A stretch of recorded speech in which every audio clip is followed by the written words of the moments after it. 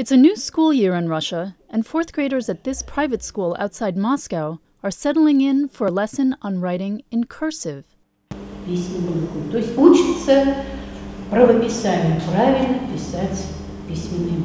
Instructor Nina Garifyanova offers some examples of old-fashioned Russian Cyrillic script before giving her students their own writing assignment. Unlike some schools in the West, which have begun phasing out handwriting classes, cursive remains an important part of the Russian curriculum. It's a painstaking process, but the students say it's a skill they enjoy knowing.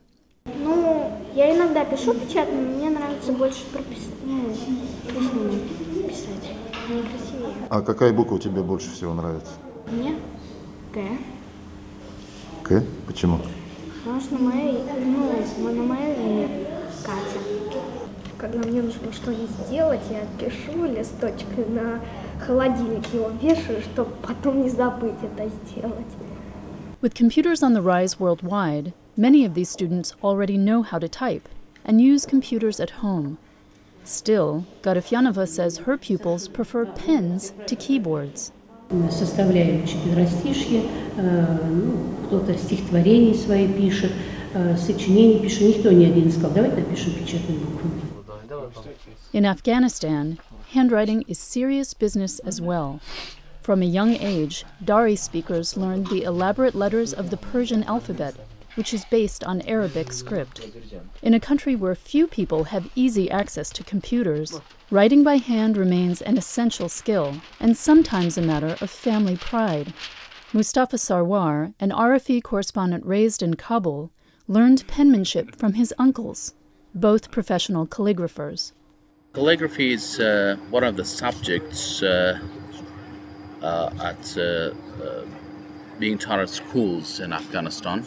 You do it with the reed pen, uh, like this, and black ink. It's very, very much important in Afghanistan because even there is a saying in Arabic that al-khattu nisful ilm, meaning that uh, if you have a beautiful handwriting, it's like uh, half of knowledge. When you had a beautiful handwriting, uh, you were regarded as a knowledgeable person. But unfortunately, these days, you know, computer has replaced uh, calligraphy, and uh, people are no longer interested in to make their uh, shop windows or signs to, to ask a calligrapher to do that for them because now they design it using computer uh, skills.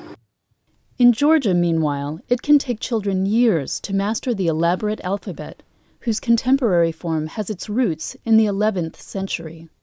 But in recent years, penmanship has taken a back seat to progress.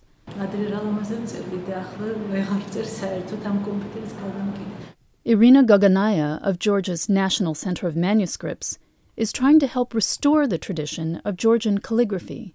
This year, the center exhibited writings and handwriting samples from some of the country's best known politicians and writers, including Ilya Chavchavadze, one of the founding fathers of modern Georgia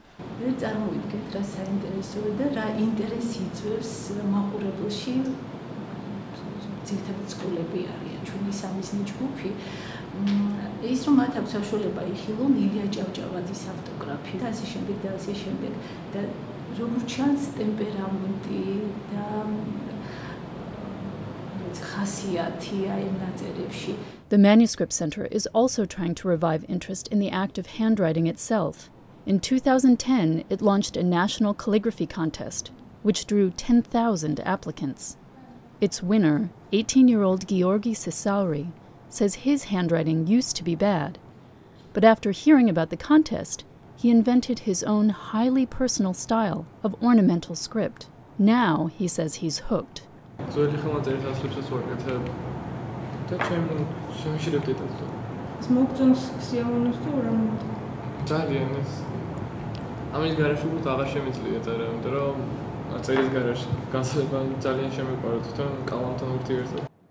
The calligraphy contest is growing in size each year. But historian Buba Kudava, who runs the Manuscript Center, says in the long run, the rise of technology may relegate handwriting to being a relic of the past.